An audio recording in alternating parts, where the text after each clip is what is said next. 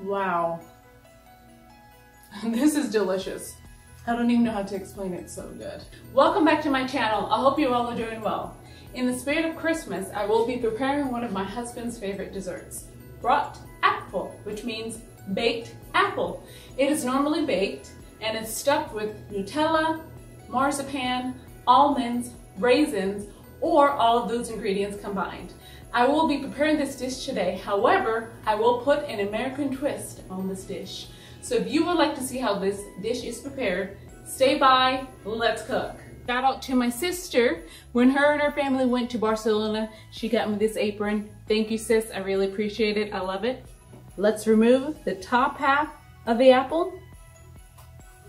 Then you're going to take a spoon and remove the center of the apple.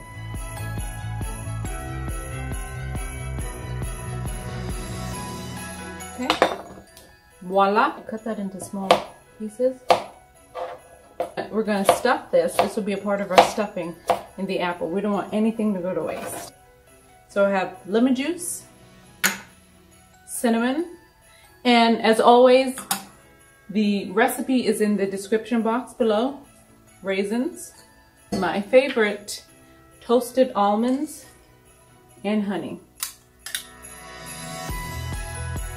Then about a tablespoon of butter.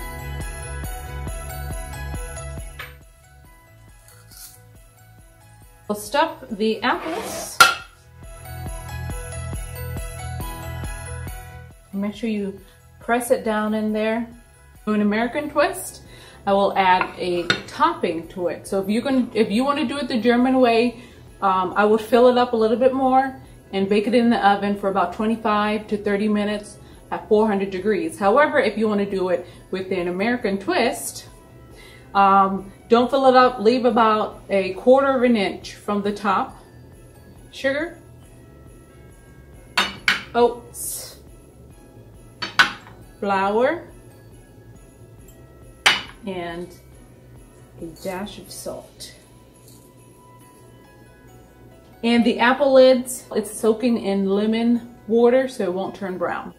Okay, so we're gonna take our ice cold butter and we will add it to the mixture. So you wanna take your fingers, that's the best way to do it, and you wanna um, smush the flour and the butter with your fingers. Perfect, so this is what you want. This is the consistency that you want. Now you see why the butter has to be cold? Because if it was room temperature, you would not have any shape right now. Next step, place these in the oven at 400 degrees Fahrenheit. A fresh caramel sauce. Already have the sugar in the pan. I'm gonna go ahead and add water. The caramel sauce should take about 15 to 20 minutes. The color is starting to change.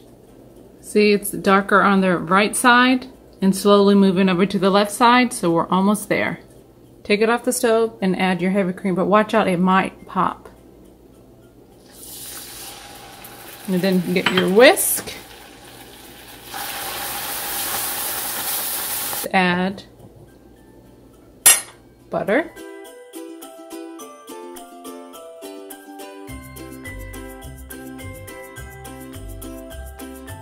Add bourbon to mine. You could add vanilla extract, whatever you would like. And then give it a good stir. Time to taste. Oh, wow. That is delicious. It smells really nice.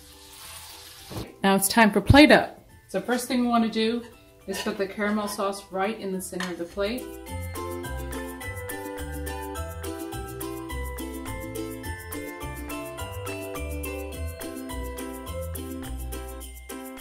Place it right in the middle.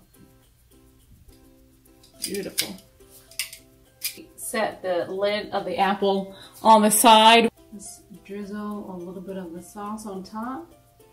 All right, guys, I've never had this dish before, so we will be trying it together. I think we did a good job. Can you all see it?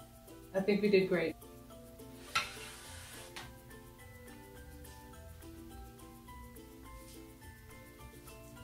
Wow. this is delicious. It is really good. I gotta take another bite, y'all. Oh my goodness. You can also have this dish with um, a vanilla cream sauce, of course, with vanilla ice cream.